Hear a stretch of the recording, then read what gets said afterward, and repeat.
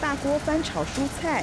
另一头，志工也正研究怎么把十二样丰富的菜色装进饭盒。台东慈济志工冬令发放，今年依旧因疫情取消围炉，但款待照顾户的心意不能减。是，真的是用感恩、尊重、爱哈来把这个便当做。所以我们所有菜色都是他平常在用最好的，所以我们的很多东西都在花莲专程到花莲去载回来，他那种感恩户 K K 的，那感觉是完全不一样的。慈济在台东长期关怀九百六十五户弱势家庭，每年岁末志工邀他们回进祠堂团聚。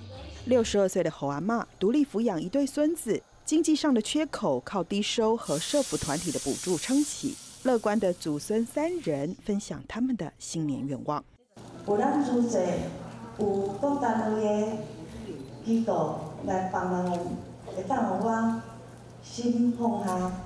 会当好我来照顾这两个孙仔，我希望这两个孙仔以后会当加入这个台来帮助帮助有需要帮助的人。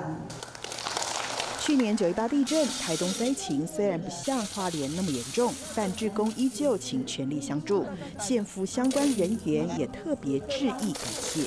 希望今天啊冬令发放的这样的一个活动，能够接收到这样的爱跟光哦。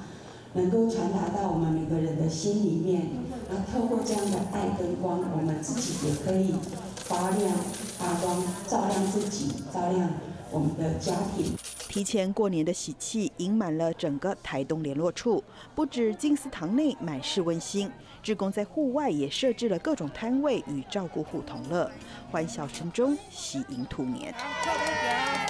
大爱新闻，这是美之工林素月、王俊杰台东报道。